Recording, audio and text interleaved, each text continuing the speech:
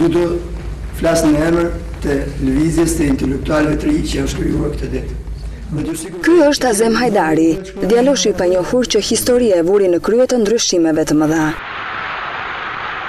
Një ndër themeluesit e Partisë Demokratike, që do të ishte edhe ndër të parët deputetë të Parlamentit Pluralist. Por vetëm 8 vite liri demokraci, arriti të shijonte djaloshi tropojan. Gjashtëmbëdhjetë vite më parë, në këtë vend, tribuni i demokracisë u vra. Gjashtëmbëdhjetë vite më pas, bashkëpunëtorët e tij e kanë frymëzim për Shqipërinë europiane. Azem Hajdari përbën frymëzimin tonë, forcën tonë, vendosmërinë tonë për të qëndruar fort për vlerat e patjetërsueshme të demokracisë, të lirisë, të shtetit ligjor. Të frymëzuar nga guximi dhe kurajo e tij, duhet të përballemi me një regjim mafioz,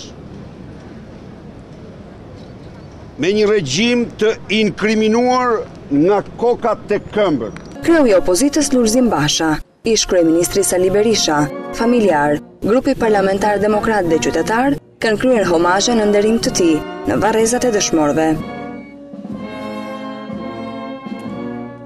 Kreu i opozitës edhe ish kryeministri janë ndalur për një vizitë edhe në shtëpinë e bashkëshortes dhe fëmijëve të Azem Hajdarit.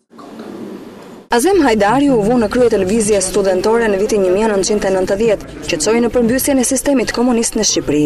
Ai u zgjodh deputet i Partisë Demokratike nga viti 1991, e derisa u vra në shtator të vitit 98. Azem Hajdari u bë objektiv i shumë atentateve duke filluar në vitin nëntëdhjetë e shtatë në Shkallnor të Durrësit, ku u tentua të vritej me bombë. Po në atë vit, banda kriminale tentojnë ta ekzekutojnë në Qafën e Buallit në Sarandë. Më tetëmbëdhjetë shtator të nëntëdhjetë e shtatës, mbetet i plagosur në sallën e parlamentit me pesë plumba nga deputeti socialist Gafur Mazreku.